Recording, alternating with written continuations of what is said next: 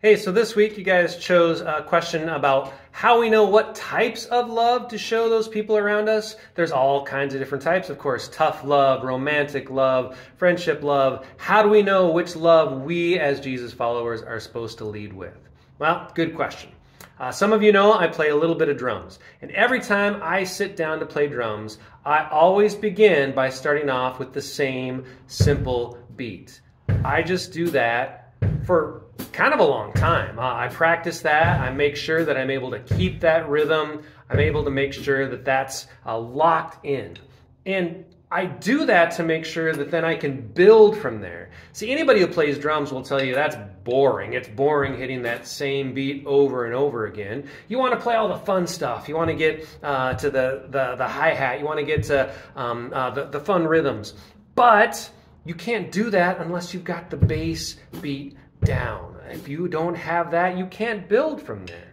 I think love is a lot like that. Uh, we want to be able to, to talk about all the different types of nuance of love that we can do. That we can read a situation and say, you know what, you need tough love, and you need this type of love, and you need that.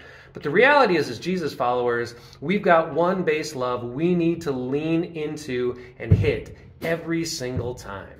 Um, you may have heard that uh, in Jesus' time there were three different words for love. There's actually even more than that, all kinds of different nuanced love. But the love that Jesus calls us to is agape love, self self sacrificial love, love where we put the other person and the other person's needs above and beyond our own. That's what Jesus does for us. That's what God does for us. That's what we are called to do for others. It's hard. And honestly, it uh, can be uh, really a challenge because we want to get to the other stuff. We want to, to be able to show that we can figure out uh, friendship love or family love or um, uh, whatever other type of love that might be out there. But if we aren't doing self sacrificial love first and foremost and best, we can't do that other stuff. So, in terms of how we lead with love, what we do with that, it's got to be agape first, every time.